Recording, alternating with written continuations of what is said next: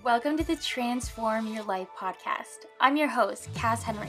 I'm on a mission to help women live their best and happiest life. In order to do that, I believe we need to live with a lot less clutter in our homes and in our minds.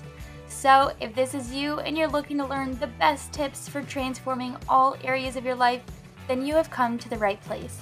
Thanks so much for being here. Now, let's get started.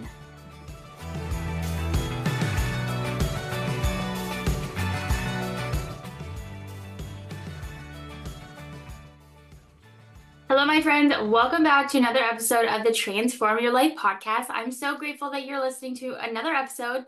This week, I wanted to share with you my framework, my signature framework for decluttering your life from the inside out. Now, I share this with the women that are a part of my new group coaching program called Worthy and Free, as well as I share it when I host workshops around decluttering your life from the inside out.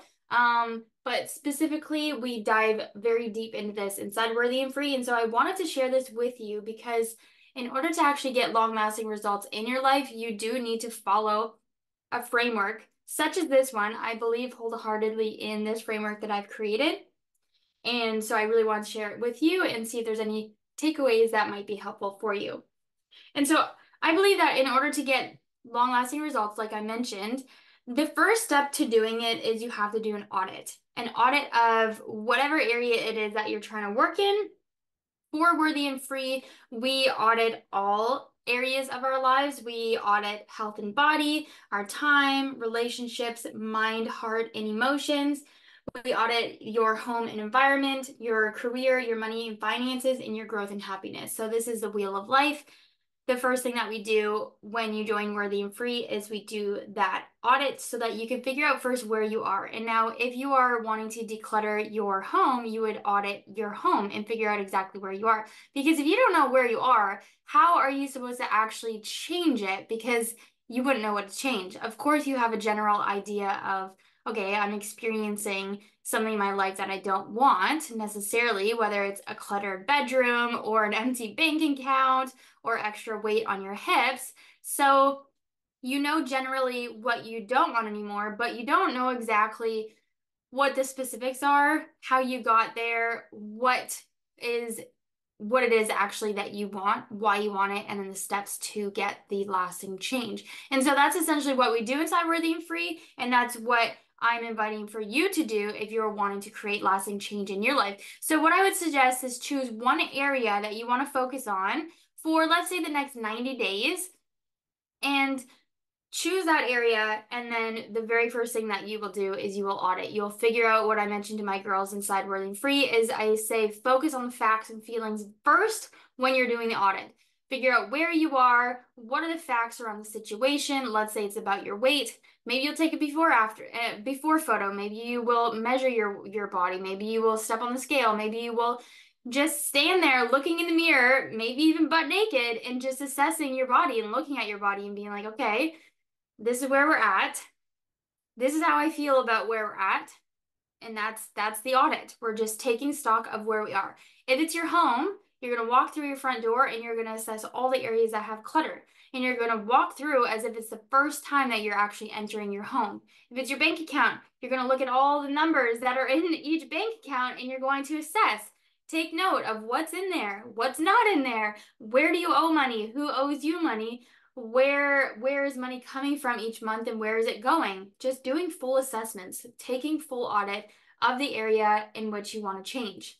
The next step is figuring out how you got there. And this is going to take a lot of honesty and introspection, but it's very, very, very important. Otherwise, if you just do, um, let's say you miraculously drop 20 pounds a month, which is which is great, and I'm sure a lot of people do it. But if you don't know how you did it, then how do you do it again, or how do you prevent yourself from gaining the weight again in the future? So you want to know how you got to where you are. And so the first in the first month of Worthy and Free, we do the audit. We figure out where you are and then how you get there. And we don't even figure out what what you want at all to begin with in the first month. And I encourage you not to do that as well. Just figure out facts and feelings and how you got there. In the next phase of the framework, it's called the vision. So the first the first pillar of my signature framework is audit. The second one is vision, and that's figuring out okay, now that I know where I am, where do I want to go? And secondly, why do I want to go there? Because it's one thing to say, okay, I'm overweight, that's where I am. I want to lose weight, that's where I want to go. But losing weight isn't fun. Like, no one actually wants to put in the extra work to lose the weight, to eat healthier, to work out. It's not easy, um, to say the least. I mean, you could go and chop off a limb, and there you go. You're like losing a bunch of weight right away but no one wants to do that. And so knowing your why is super important because it's going to help you stay in the action like long term and not just short term or burnout or get this discouraged or distracted or or give up. So in the next phase of the framework is creating a vision, a very, very, very strong vision to give you an idea of where it is exactly that you want to go to create a picture, a painting, or even a movie of where it is that you want to go so that you know what you're working towards. And then in, the second part of the vision framework is to create a very strong and powerful why. Now, if if surface level why I want to lose weight because it's important because you know for health reasons, well, that's not a very strong why. That's not a very compelling why. That that certainly wouldn't make me want to get up out of bed every morning. But if it's like my kids are only going to be little for so long and if i can't run around with them on in the backyard and play soccer with them and and actually be active with them i'm going to lose out on these younger years that i will never get back. And if i could drop dead at any moment because of a heart attack because i'm not taking care of my body like whatever it is the deeper you have to go or rather the deeper that you go just in general the better because the stronger your why the more likely you are to actually follow through on your vision making money is one thing, but if you know what exactly you're going to do with the money that you make, then that's a whole other thing. And you're a lot more likely to follow through on your vision. And and life is life is such a beautiful journey and adventure and gift. And there's so many opportunities. And so you're doing yourself a disservice if you aren't allowing yourself to dream, dream big, create a vision, a very beautiful vision for your life. Because if there's photos of it on the internet, I mean, now with AI, I don't know what's real and fake. But back then, if there was photos of it on the internet, it meant that it was possible for you because there's photo proof of it existing. Um, I'm gonna still hold that to be true because there's so many beautiful places and people in the world that you can explore, an opportunity that you can have, and an abundance of money and adventure and so on. So what you have out in your mind, in your heart, the visions that you have are possible for you, or else you wouldn't have them. So allow yourself to dream big, create the vision, and then create a strong and compelling why. And then the last part of the my signature framework is action. You see how we're not taking action right away? We are taking action in a very um, slow, foundational way, but we're not actually going hard into the action because I believe that action is only last. Now that we've laid out the framework with the first audit and then vision, the very last step, the very last pillar of the framework is taking action. So once you know what you want and why you want it, then you have to figure out, okay, what are the steps I need to take in order to get there? And who do I need to ask for help or guidance or mentorship to get to the results? So if you, let's say you're 50 pounds overweight, you don't really know how to work out or eat healthy, and your goal is to lose 50 pounds, let's say in four months, I mean, if you ask for help from someone who's done it already or who helps other people do it already, then I think you'd really increase your chances of succeeding and reaching your goal and also keeping it off and having the support and accountability.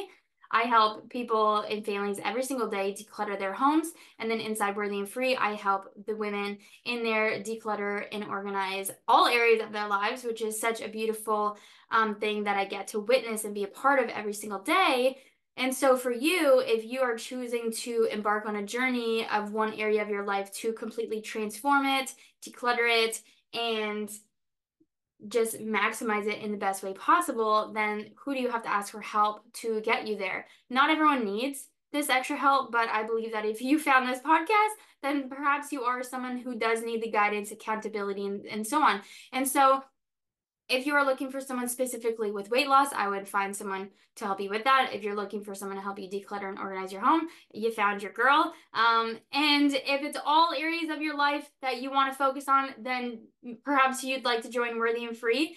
We are launching again in September. So if you want to join, the the cart to join is currently not open um, because we are going through the first round with the ladies inside the group. But if you are interested, just stay tuned for future episodes when I mention the cart opening in um, probably around August.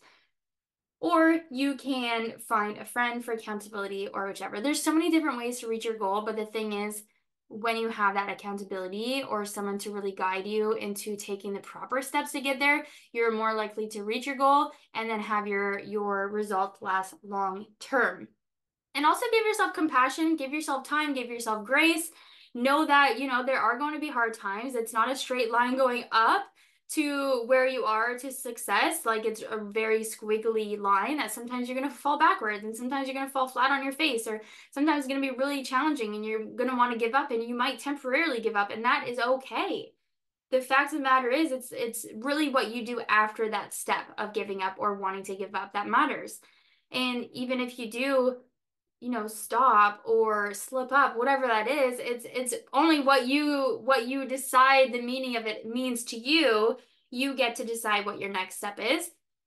An app that i find to be really helpful is pep talk if you are struggling with you know um that internal dialogue sometimes it's helpful just to have people giving you pep talks of you can do it and you know um keep going and obviously i'm not a pep talk person um but there it's a very very good app i really enjoy it and um, printing out a vision board and having it in your space that you look at every single day is really important. I host in-person vision board workshops at my home. I haven't been doing it the last um, couple of months just because I've really been focusing on the Worthy and Free program.